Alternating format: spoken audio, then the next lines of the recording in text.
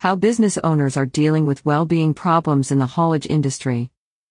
Haulage industry leaders and mental health experts are looking for many ways to improve the mental well being of haulage drivers. Morale in the haulage industry is at an all time low.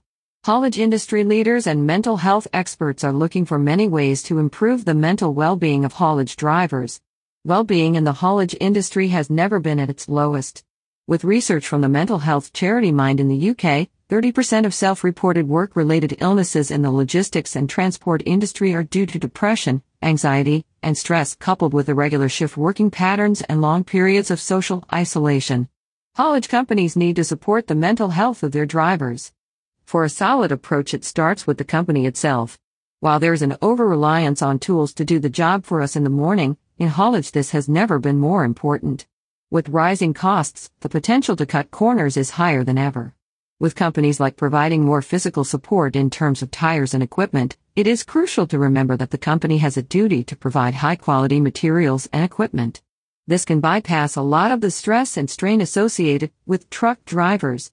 The potential for damage arising from a poorly maintained or service vehicle is not just going to reflect badly on the company, but it will traumatize the driver for life. Another approach is to ensure the driver maintains their health. This is a very multifaceted approach because it comprises physical health, well-being, but also morale. Low morale will have a negative impact on productivity.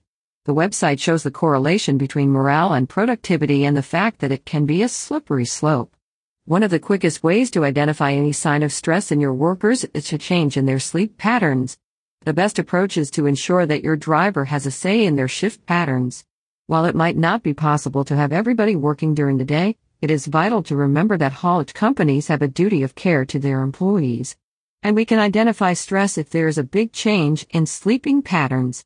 This is why it's better to incorporate a long stretch of shifts during one time of day. For example, a month of night shifts proves beneficial because it can allow the driver to adjust, rather than swapping between night and day, which can hinder their ability to recover. Finally, it is more beneficial to listen to the employee and to establish their concerns. Many haulage drivers are prone to social isolation, but if they are struggling to balance career and family duties concurrently, the role of the employer has a duty to manage that effectively.